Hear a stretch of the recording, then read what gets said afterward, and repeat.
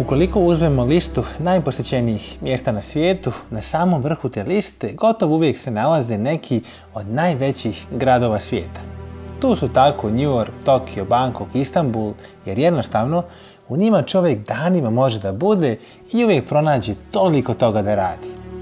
Slična situacija je i sa gradovima u našoj regiji gdje su Beograd, Novi Sad, Zagreb, Sarajevo i Ljubljana među najposjećenijim destinacijama u svojim zemljama jer svojom istorijom, ali opet i veličinom privlače turiste željne kako kulture i istorije, tako i one koji traže dobar provod i zabavu. Ali šta ako bih vam rekao da u najmanjem gradu u Bosni i Hercegovini možete da pronađete toliko toga i otkrijete stvari za koje možda niste znali ni da postoje. To mjesto je ravno, a u ovom videu vam pokazati da se one najljepše stvari ponekad čuvaju u najmanjim količinama. Pokazat ću vam kako je moguće da jedno mjesto u kojem danas živi svega 100 duša posjeduje čak četiri crkve, hotele, restorane, puteve koji su nekada prevozili ljude iz ovih krajeva pa sve do Beča, ali i neke od najnevjerovatnijih prirodnih ljepota koje ćete pronaći na našim prostorima. Vidjet ćete i neke simpatične životinje tokom ovog videa, te neke nevjerovatne poglede od kojih zastaje dah, ali ajde da krenemo redom sa našom pričom.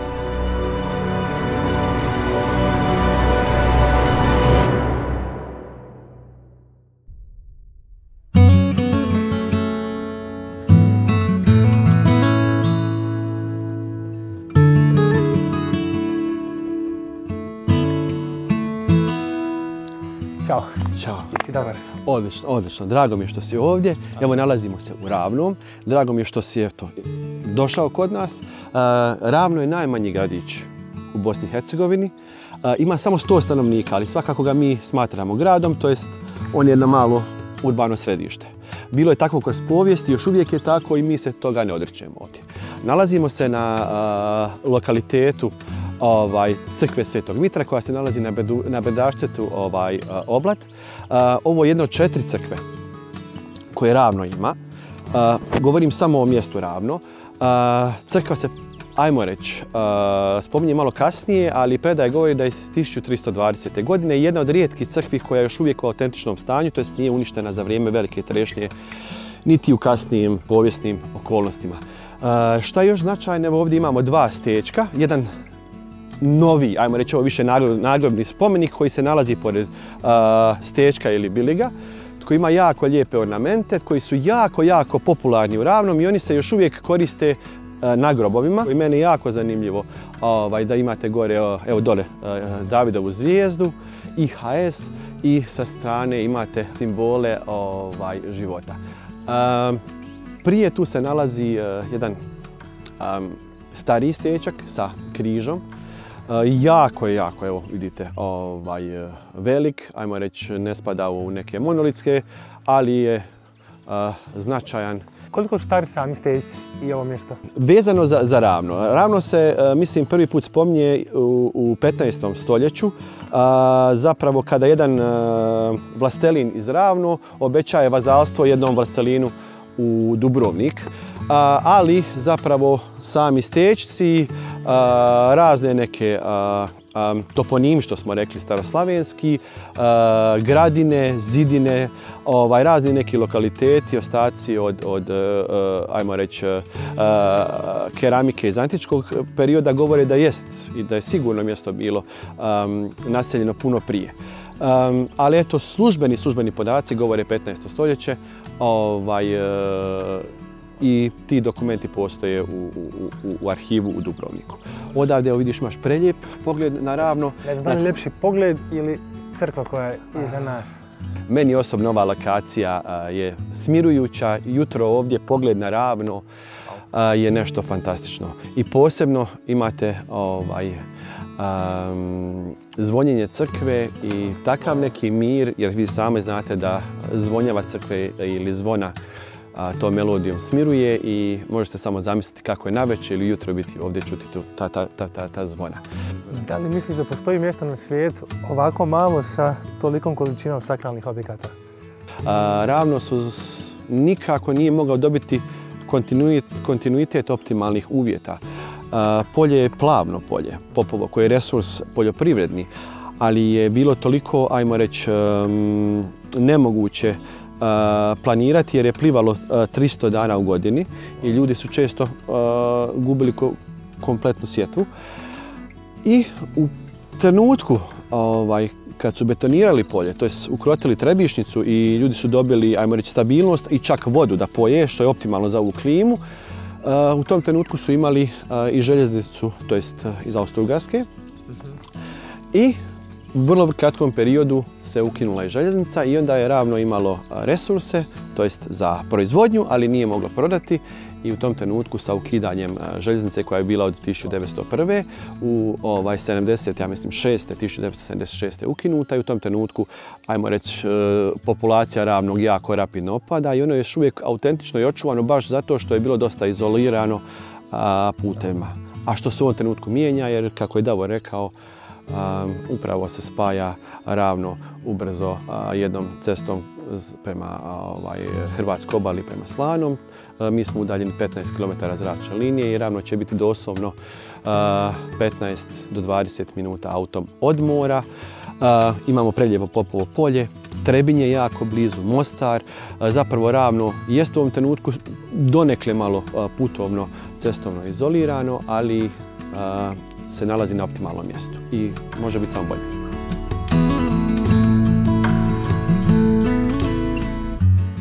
Kao što sam u uvodu videa spomenuo, širom grada vidjet ćete još nekoliko crkvi, od kojih je svaka posebna na svoj način, ali koliko god sama istorija mjesta pomaže da ga bolje razumijete i doživite za onu istinsku spoznaju nekog kraja, uvijek je najbolje upoznati nekog od lokalaca, zaviriti u njegov dom i vidjeti kako oni žive. Upravo to smo uradili i ovdje, a naš domaćin bio je simpatični Giša, rekao bih legenda ovog kraja. Dobrodošli. Ja svakog ovako prihvatim. Hvala puno. Srcem. Jeste dobro? Dobro vi, ja sam Božo. Robert, drago mi je. Drago mi je. Milan, prijatelj i ekipu već znate. Milan, kak ste? Dobro vi, hvala na pitanju. Mi smo čuli da ste vi legenda ovog mjesta. Marija, pa ja sam mislio da ste ono, strankinja naša. Jel tako? Jeste. Izgledam. A izvolimo. Hvala puno.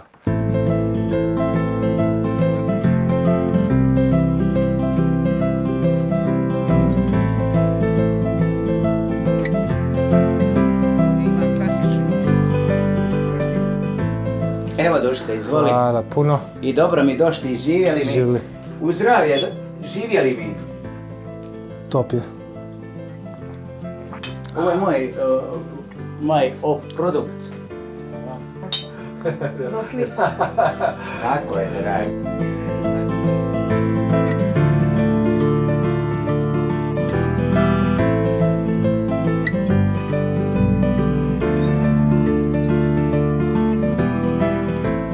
Ste nekad bili u kući gdje kad izađete imate magarca Lea sa druge strane, fantastičan pogled Ne, ne, sa ove.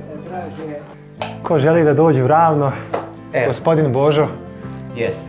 Evo, nudi. Odmah Koliko dođe jedno baš noćenje ovdje?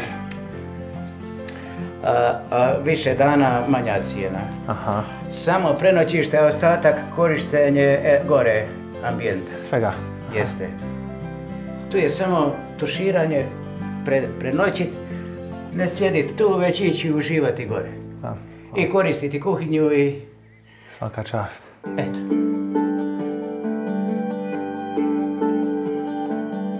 Znam da naša zemlja ima objekte od kulturnog značaja i prirodne ljepote od kojih zastaje dah, ali upravo su ljudi poput Giše ono što nas najbolje oslikava.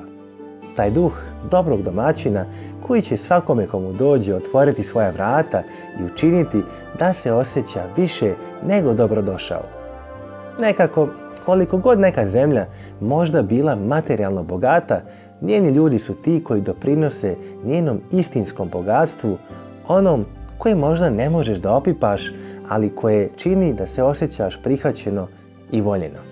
Mnogo mi se dopada da čujem da za razliku od mnogih mjesta u našoj zemlji u kojima je dominantan trend odlaska iz zemlje, ova opština naporno radi na privlačenju ljudi nazad pa im recimo tako uz ponuđene poslove osigurava i smještaj bez naknada. Osiguran je posticaj od 300 maraka mjesečno za djecu koja idu u osnovnu školu tokom školske godine, kao i besplatni vrtić za one najmlađe, te vjerovatno najmoderniji starački dom na ovim prostorima za one najstarije. A što se mene lično tiče, ljudi u Ravnom su definitivno činili da se osjećam tako tokom svakog minuta mog boravka ovdje, čineći sve što je u njihovoj moći da maksimalno uživam, ali da pritom naučim neke stvari koje ranije nisam znao. Evo, nalazimo se na lokaciji nekadašnje stanice na a, Čirinoj pruzi ili pruzi koja je napravljena a, 1901. od strane Austrougarske, jer Bosna i Hercegovina je tada bila a, dijelom Austrougarske. Jedan ogroman projekt koji je ajmo reći, povezivao Austrougarsku skroz od Beča pa ovuda kroz Hercegovinu, kroz Ravno išao je prema a, Crnoj Gori. Um, ovdje vidite i hotel koji je a, zapravo renovirana i u izgleda, znači nije ništa promijenjeno, a, uglavnom izgleda kao, kao što je ta stanica izgledala. Um, vrlo bitno za ovu željeznicu i za poziciju ravnog je ona je baš život značila. Ona je bila žila kucavica ne samo ravnog, nego čitavog ovog dijela Hercegovine i trenutak 1976. kad je ona ukinuta, to je bilo jedno, ajmo reći, okidač koji je natjerao ljude da polako napuštaju ovo mjesto, jer pored polja koje je bilo jako plodno, imalo vodu i imali ste mogućnost proizvesti jako puno stvari, problem je bio plasmana i komunikacije. I to je bila jedan teški period kasnije, ali uh, period od 1901. pa do ukidanja je bio um, period blagostanja.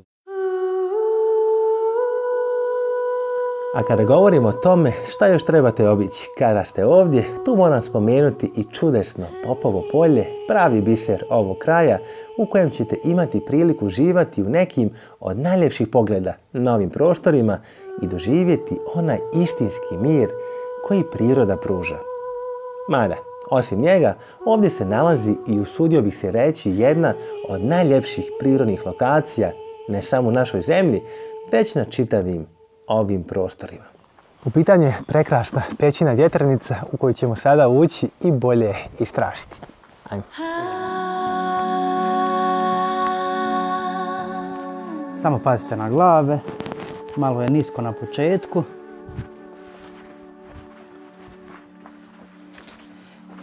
Kako se osjeti razlika u temperaturi odmah? Rekao si koliko? 13 stepeni? E, od prilike, da, unutra uvijek oko 11 do 13 stepeni tijekom cijele godine. Mitski status mitskog imena vjetranica radi vjetra koji je jak, pogotovo ljeti. Kad je vani 40, unutra 11. Onako baš rasladi fino. Evo onda, da. Taj fenomen koji privlači turiste, posjetitelje posebno u tom ljetnom periodu. Koliko su stariji ovi stalaktiti, da li se zna? Prosječno uvijek kad računamo je potrebno od 30 do 100 godina za 1,5 mm. Znači, svaka špilja pa i vjetranica bogata nakitima, stalaktitima, stalagmitima. I uvijek kažem da svaki nakit, svaka boja predstavlja svoju priču. Različite starosti, različita brzina nastanka. A prosjek je tako od 30 godina do stotinu nekad za 1,5 mm. Dakle, mi smo doslovno u živućem muzeju podzemlja. Našao sam negdje podatak, ispravi me ako je pogrešno, da 186 životinskih vrsta živi ovdje. Tako je. Opisano ih je do sad. 186 različitih vrsta. Ima tu sitnih kukaca, rakova, različitih školjkaša, puževa i uvijek ona najpoznatija glavni celebrity čovječ Arivic. Koji ćemo vidjeti na kraju ture. Da. 100%. Znači ljudi koji dođu u vjetrnicu će sa sigurnošću da je vide endemski primjere koji samo na ovom ovdje području. Tako je, da. Mi se trudimo uvijek da iz ovih bočnih kanala vjetranice koji su pod vodom, koji su pod jezerima, da ih izranjamo tako da bi gosti imali priliku da je vide jer je stvarno fenomen cijeli Dinarida. Ono što moram pohvaliti da je staza jako lijepo uređena, opet se nekako sačuvala sama, ova, da kažem, priroda ovog mjesta. Estetika, vrlo je lagano da se šeta, da se ide s kraja na kraj. Koliko imamo od ulaza pa do samog kraja pećine koji je dostupan? E, Što se tiče ovog turističkog dijela, laganog hoda, nama je potrebno s posjetiteljima negdje oko 45 minuta. Idemo na udaljenost od 700 metara od ulaza. Hoće nas napadat neki tigrovi, jaguari. Da, prapovijesni leopard i medvjed. Kosti su pronađene. I ono što je jako zanimljivo za vjetranicu, da su veliški stručnjaci 60. godina prošlog stoljeća pronašli čak cjeloviti skelet leoparda u vjetranici, što je jako rijedak nalaz e, u Europi.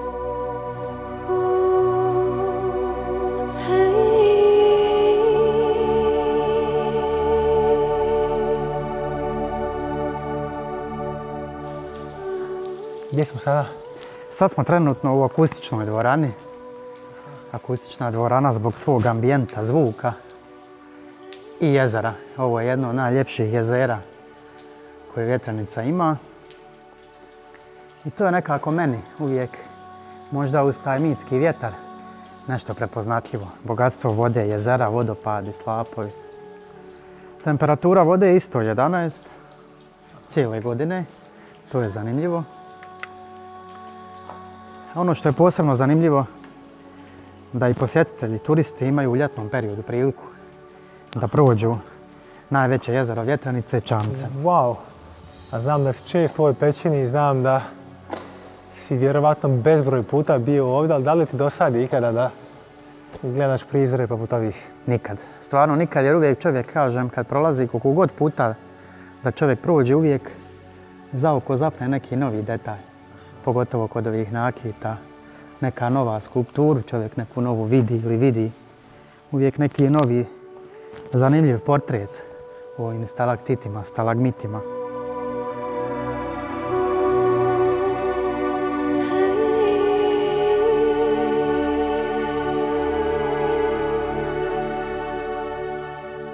Evo nas i kraj najpoznatijeg stanovnika vjetranice, čovječa ribica.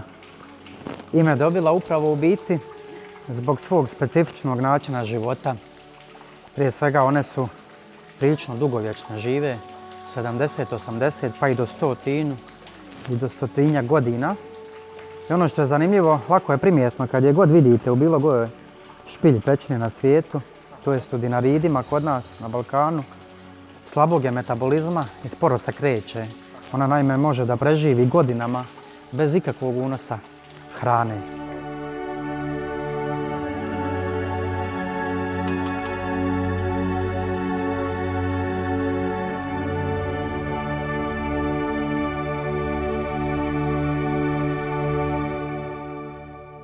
Iako mi je ovo bila već četvrta posjeta pećini vjetrnici, svaki put kada sam ovdje iznova otkrijem neki njen novi dio i oduševim se njenom ljepotom. Znam da sam možda ponekad subjektivan kada pričam o svojoj zemlji, ali da je ova pećina na nekom drugom mjestu u svijetu, ovdje bi sada vjerovatno bili redovi turista koji bi stojali jedni iza drugih pokušavajući da fotografišu ovo mjesto, a nas dvojica smo ovdje potpuno sami. Sami uživamo u tišini koju nam pećina pruža i divimo se njenim stalaktitima i stalagmitima iza kojih stoje desetine hiljada godina istorije. A iako bismo mogli da na ovom mjestu završimo ovu našu priču i to bi vjerovatno bila jedna od najljepših lokacija na kojima sam ikada završio neki svoj video, želim da vas upoznam sa Ružom, vrijednom djevojkom koja kao i mnogi koje ste do sada upoznali ostaje u ravnom i bori se za promociju svog kraja.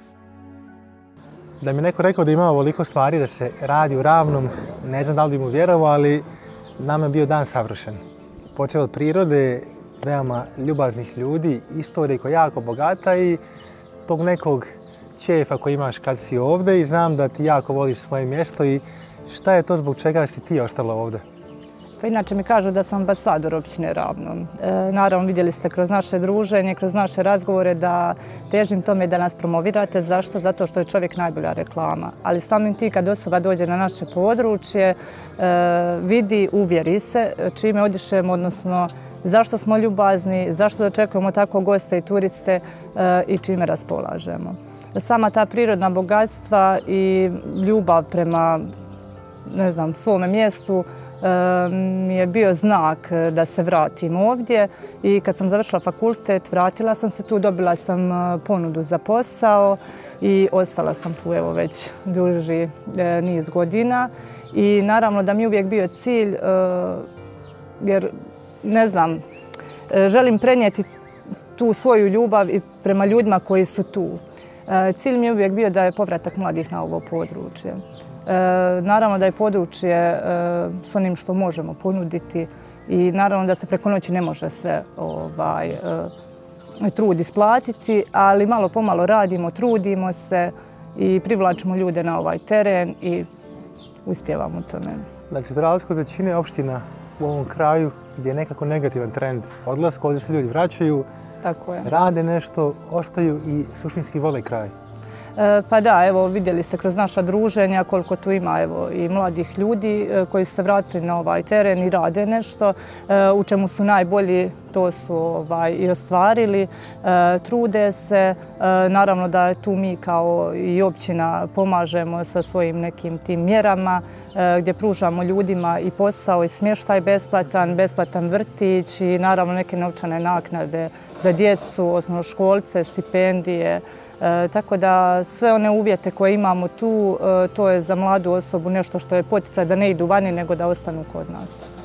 Čuo sam dva onako vrlo zanimljiva podatka. Jedan je da imate najmoderniji starački dom u zemlji, je to istina? Istina.